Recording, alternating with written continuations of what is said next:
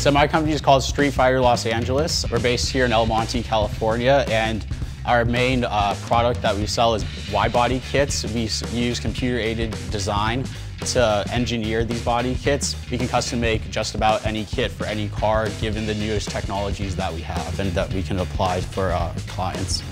On our E36, we have a Street Fighter LA body kit, which is 100% engineered from computer-aided design and then cut out into foam and then finally manufactured into fiberglass. It is currently molded onto the car, so there's no rivets at all.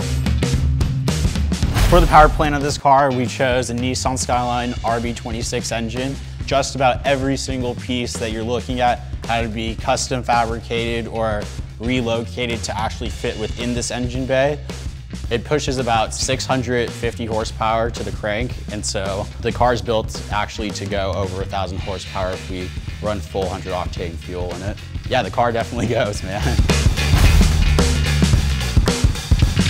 So for the interior, given that it was a drift car, we decided that we were just gonna start by stripping every single original piece of the car out, um, everything down to the carpets that were initially here from the factory.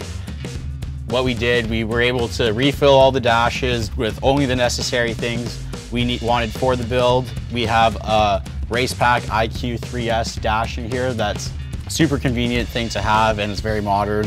We have a Renown Racing 100 steering wheel here an ASD hydraulic e-brake in along with a custom shifter and rear cage in the back and these uh, Recaro pole position seats. SEMA Young Guns categories for ages 27 and below and it allows the younger people in the competition to kind of have their own break and compete against each other to see, you know, as what young inspiring talent could be going forth in the years for SEMA to come. And um, I'm thrilled to be a part of, you know, this new category and being able to show my potential here at SEMA against all the other great talent.